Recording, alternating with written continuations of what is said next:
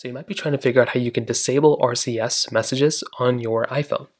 Now, doing this is actually very basic and it really does not take too much time at all. So the very first thing you're going to want to do is you want to go ahead and make your way over into your settings application and you want to make sure you're on iOS 18 or above. If you're on iOS 18 beta 2 or above, then you'll be able to do this. You want to make sure your you know, SIM card carrier supports RCS, which like every single one does. So make sure you have those things under control. Now, the next thing you're going to want to do is you want to make your way over into your settings application just like this. And you want to scroll down until you see your application manager or your apps at the very bottom. So then what you want to do is you want to go and basically see and find the messages app. So keep scrolling until you find this little messages application, which is right here, and then go ahead and tap on it. So then what you want to do is when you get into this particular panel, you then want to go ahead and find the little panel that says something like RCS messaging.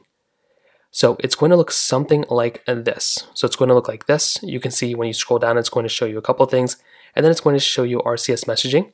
What you want to do is you want to tap onto that RCS messaging option that basically comes up. Then when you do that, all you want to do is you want to go and find this RCS messaging panel, and you want to go ahead and toggle this off. So if it's on like this, you want to toggle this off, and that will essentially go ahead and disable RCS messaging on your particular iPhone.